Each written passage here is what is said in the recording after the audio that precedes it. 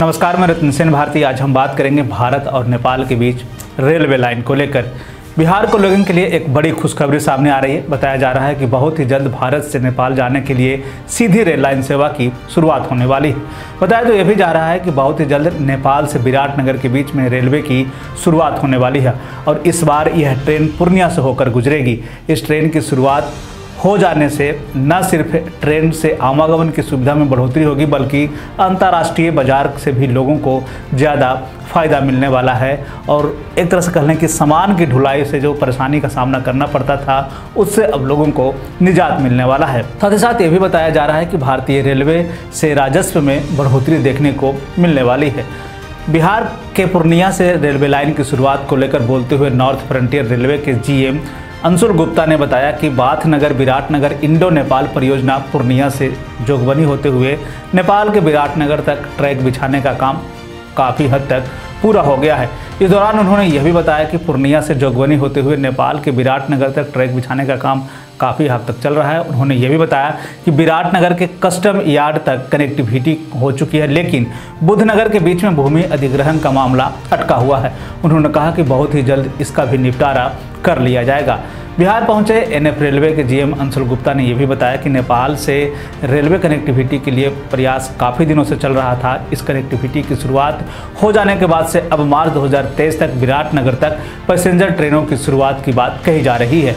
इस दौरान उन्होंने यह भी कहा कि न केवल भूमि अधिग्रहण का मामला सुलझाया जाएगा, बल्कि रेलवे के आय में भी बढ़ोतरी होगी। साथ ही साथ भारत और नेपाल के बीच में व्यापारिक रिश्तों में भी मधुरता देखने को मिलेगी।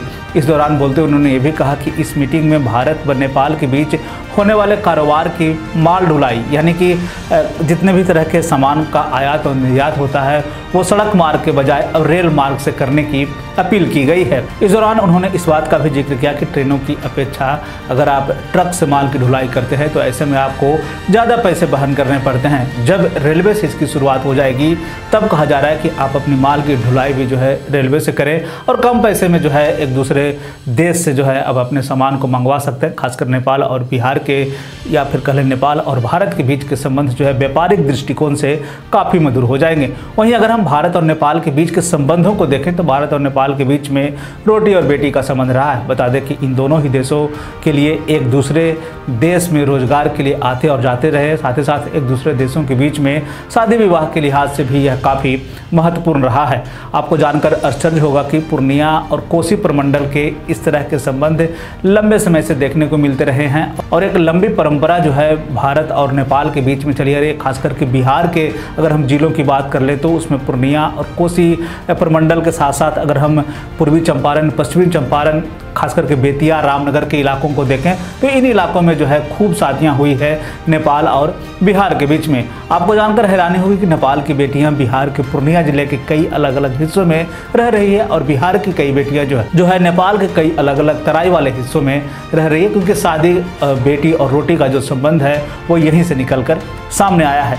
अगर हम व्यापार के नज़रिए से इसे देखें तो दोनों ही देश एक दूसरे पर कमोबेश निर्भर हैं। जैसे कि नेपाल की सरकार भारत से नमक तेल, खाद्यान्न, उर्वरक के साथ साथ कई सामान लाते हैं, जबकि भारत के लोग भी नेपाल से कई सामानों को लेते हैं, जैसे कि टॉफियाँ, बिस्किट, नमकीन, सिगरेट, कपड़ा आदि। आपको बता दें कि अभी तक भारत और नेपाल के बीच में व्यापारिक ट्रकों के माध्यम से होता रहा, लेकिन अब ट्रेनों की शुरुआत होगी तो यह व्यापारिक दृष्टिकोण से काफ़ी महत्वपूर्ण होने वाला है। तो एक तरह से कहें कि ट्रेनों की शुरुआत के बाद से बिहार के लोग नेपाल घूमने के लिए भी जाएँगे तो पर्यटन के लिहाज से भी जो है यह दोनों देशों के लिए काफ़ी महत्वपूर्ण माना जा रहा है। ऐसे में भारत और नेपाल के बीच में जो ट्रेन लाइन की शुरुआत की बात कही जा रही है, इससे व्यापारिक, सांस्कृतिक लिहाज से यह एक काफ़ी सुदृढ़ कोशिश के रूप में देखा जा रहा है। और खास करके पर्यटन के लिहाज से भी यह एक काफ़ी महत्वपूर्ण पहल माना जा रहा है। तो ये थी भारत और नेपाल के बीच में ट्रेन सेवा की शुरुआत को लेकर खबर। बिहार और बिहार से जुड़ी हुई और भी ऐसे इन खबरों के लिए